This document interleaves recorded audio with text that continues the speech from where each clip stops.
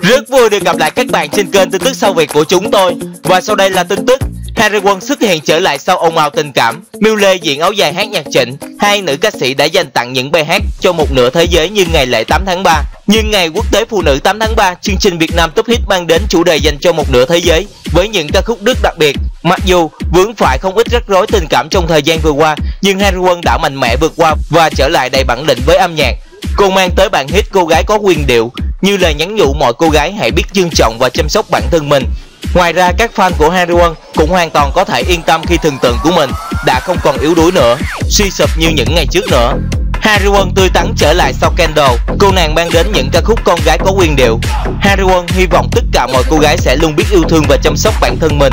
Sau khi thành công từ vai diễn trong bộ phim Em là bà nội của anh, giọng ca của Miu Lê được nhiều khán giả khó tính, đánh giá cao khi thể hiện các bài hát nhạc trịnh. Xuất hiện lần này, nữ ca sĩ diện áo dài và mang đến nhạc phẩm Con tuổi nào cho em như một lời nhắn nhủ tâm tình tới những người phụ nữ tần tảo chịu thương chịu khó và gặp nhiều sóng gió trong cuộc đời. Để có được thành công như ngày hôm nay, Giang Hồng Ngọc đã phải trải qua nhiều sóng gió trong cuộc sống cũng như tình cảm và người luôn bên cạnh chia sẻ yêu thương ủng hộ cô chính là mẹ của cô. Khi nhắc về mẹ cũng như dành ca khúc Con sẽ sống vì mẹ cho đứng sinh thành, Giang Hồng Ngọc bức giác, bật khóc. Đây cũng là lần đầu tiên cô mời mẹ của mình lên sân khấu, cũng góp mặt trong tiết mục đặc biệt này. Khi nhìn thấy con gái rơi nước mắt, chính mẹ của nữ ca sĩ cũng thực sự xúc động.